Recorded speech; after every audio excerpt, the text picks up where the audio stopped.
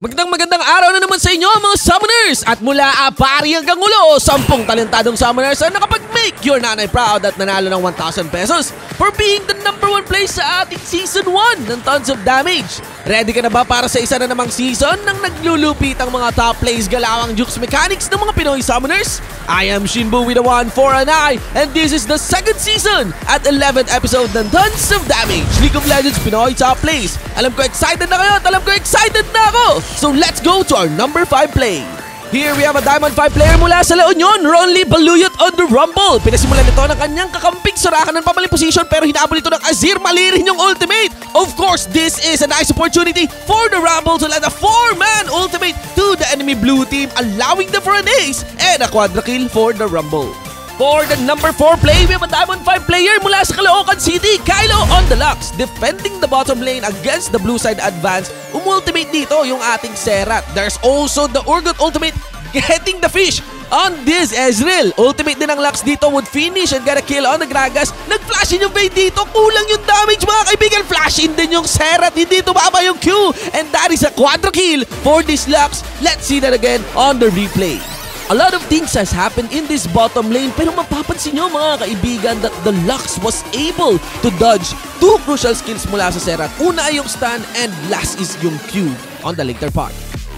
For the number 3 play, we have a Diamond 5 player mula sa San Pablo, Laguna, Rog Aldemo on the Yasuo. Advance dito yung Elise dodge the Tornado using the rappel mga kaibigan. Puts the bite dito sa Yasuo natin and the dual is on.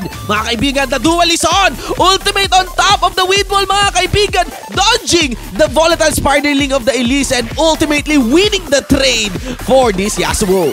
Despite taking that duel as if sure kill na siya mga kaibigan, the Yasuo was able to perfectly execute his skills. First, with walling the neurotoxin ng Elise and of course, dodging the volatile Spiderling using the last breath. Not to mention na hindi rin tumama yung kukun ng Elise dito. Perfect Yasuo play.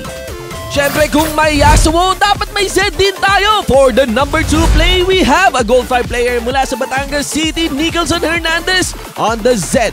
In the top lane, after using his Q, the enemy Wukong would initiate on him. Shadow out dito and would use the death mark onto the diving leasing. Of course, after the flash, he would return to the original Shadow and an auto attack sa nagmassive na Wukong. Easy double kill for this Zed. Let's see that again on this replay. Aside from it being a tower dive, I think isa sa mga bagay na dapat i-account dito was of that mastery dangerous game na nagbalik sa buhay ng Zed after getting the kill on the Lee Sin. Had it been na in-account ito ng Wukong, patay pa sana yung Zed dito. At bago tayo pumalo sa number 1 play mga kaibigan, iniimbitahan ko kayong i-like ang page ni Kiora of Rumble Royale. That is facebook.com slash KioraPH. Nag-stream rin siya sa channel ng Rumble Royale and be sure to follow all of our adventures on gaming events and in life.